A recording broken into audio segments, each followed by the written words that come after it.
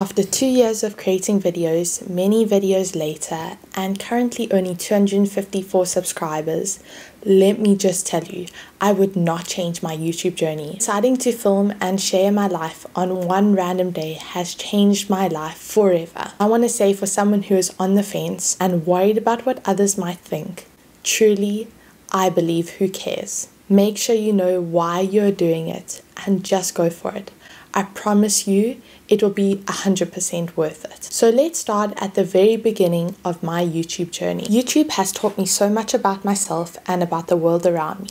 I only started watching YouTube in 2020 during COVID when we were stuck inside our houses and there really wasn't much to do. I initially started watching YouTube because I wanted to expand my knowledge of makeup and so I was watching beauty videos. I haven't ever really considered myself a very creative person. I wasn't very good at ballet when I was younger, wasn't very good at drama in high school, and I never really did anything very artsy. One of my favorite ways to be creative is through doing puzzles, but that's about it. YouTube showed me that there are so many other people out there sharing their lives through videos that are so similar to the person that I am. You could see how much my favorite YouTubers were just loving sharing videos and creating content and just showing people their very normal, ordinary lives that they were living. So, anyways, fast forward to 2021 when I first started at university. Bear in mind that COVID was still a thing, and so we were not going on campus to learn, we were doing everything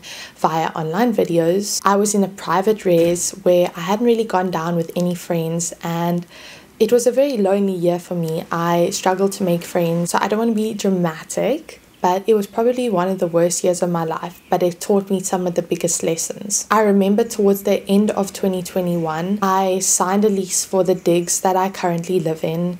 I decided that I was going to start rebuilding my relationship with God, and we'd even got news that we might start going on campus for lectures the next year and I was ready to put 2021 behind me and start afresh in 2022. I've been thinking about starting a YouTube channel and finding a creative outlet for myself. Somehow I came onto the idea of starting a YouTube channel as soon as I started university in 2022. I could feel this pull to let loose, to face my fears of being judged by others, and just to share my life. As one can imagine, my first video was a bit all over the place with funny lighting, weird angles, and I didn't really know what I was doing.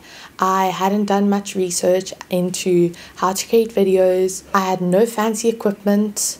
It was just me and my iPhone camera. It felt a bit rogue at the time, but I wanted to document my university career. It was going to be my version of a photo album, but the only catch was that everyone else was going to be able to see it. I look back at my first video with so much joy because first of all it was me moving into my digs and I've now been living here for 3 years and I just can't believe how much my life has changed in 3 years. And secondly it brings me so much joy because I just decided that I was going to do something I was passionate about. The 23rd of February 2022 will forever be a monumental day for me because that's when I posted my first YouTube video. YouTube has allowed me to find parts of my personality that have been hidden for so many years and things about myself that I never really knew. For the majority of my high school and university career, I've been so focused on studying numbers and so in the form of maths and accounting and things along those lines.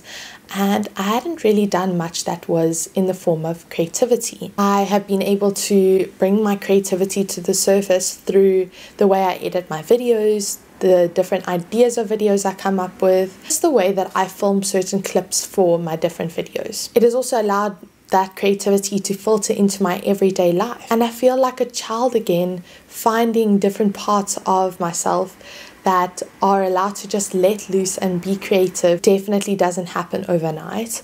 But with practice, I feel like I'm learning more and more every day about myself, about my YouTube channel, and just about the world around me. It's actually funny because for three years I had been studying finance where there was lots and lots of numbers Um, but after some doors were closed, I decided to carry on in the degree, but into a marketing major, which was so different to everything I'd done for my whole life. I felt like a marketing major was the right way to go because it just felt like it went hand in hand with the YouTube career that I was building. If you're not aware, I actually want to be a teacher when I am a little bit older.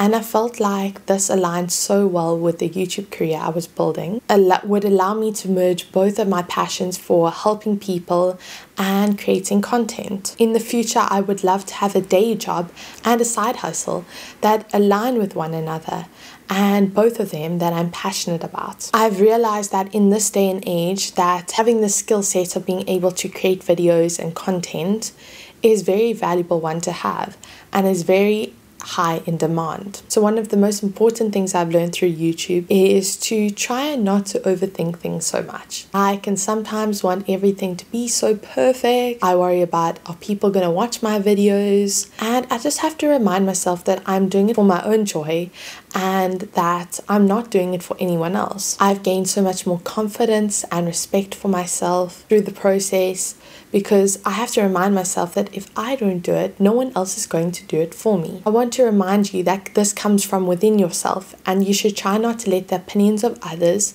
stop you from pursuing something that you're passionate about. I've also come to realize over the years that I have an amazing support system. My family and the true friends that I've made really hype me up and give me the boost to continue creating content. Through YouTube, I've allowed myself to be a bit more vulnerable, more vulnerable than I had been in the past, and allow myself to create deeper connections with the people around me. Sometimes telling someone that you started a YouTube channel and you create silly little videos can be hard, but I've realized that I've had some really beautiful conversations with people just by telling them that I create videos. Most of all, YouTube has taught me that with consistency, with hard work, with dedication, with passion, with heart, and with drive that anything is possible. At times, I felt that some of my goals for YouTube are too big, and I need to celebrate the small achievements as well. This could be